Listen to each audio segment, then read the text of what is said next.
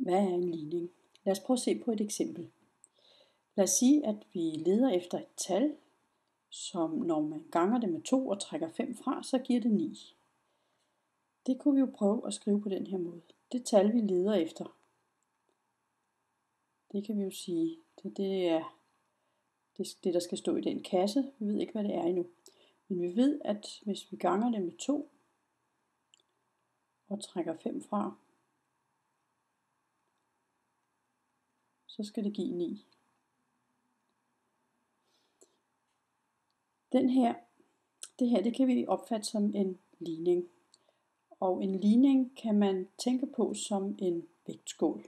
Så hvis vi har, at venstre siden er på den ene vægtskål, og højre siden er på den anden vægtskål, så skal der være balance i de to. Så vi kan forestille os, at vi har en, en vægt, og der skal være balance i den vægt. Så øh, hvad skal vi så have for et tal herinde, sådan at der giver ligevægt? Ja, det er måske ikke så svært at regne ud, at det må være, det må være 7. Vi kan prøve efter 2 gange 7, det er 14 minus 5, det er 9. Så vi siger her, at 7 er en løsning til ligningen. Ofte formulerer vi ikke ligninger med, med kasser, hvor den ubekendte størrelse, det ukendte tal står i en kasse, så skriver vi det i stedet for med et x.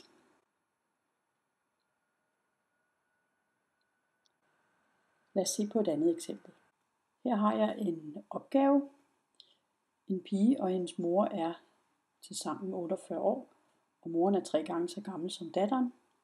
Og vi skal prøve at finde ud af, hvor gamle de er hver især. Det kan faktisk også formuleres ved hjælp af en ligning.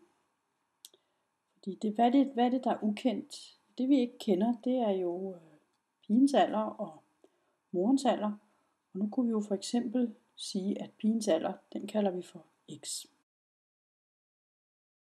Og hvis pigen er x år gammel, moren hun er tre gange så gammel, så må hun jo være 3x år.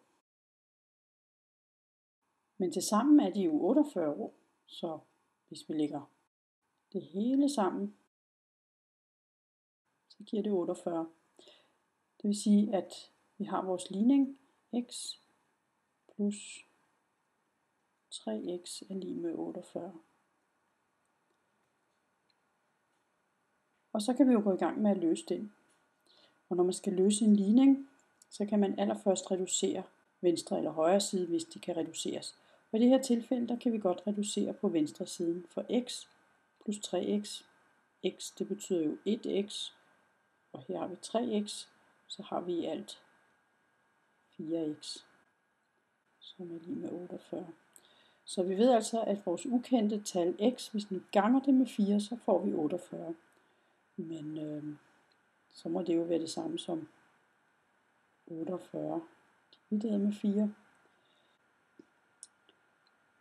og 48 divideret med 4, det giver 12. Så nu kan vi altså se, at pigen hun må være 12 år, og moren hun må være 3 gange 12, altså 36 år. Så det var sådan lige en lille introduktion til, øh, hvad ligninger er og hvad de kan bruges til.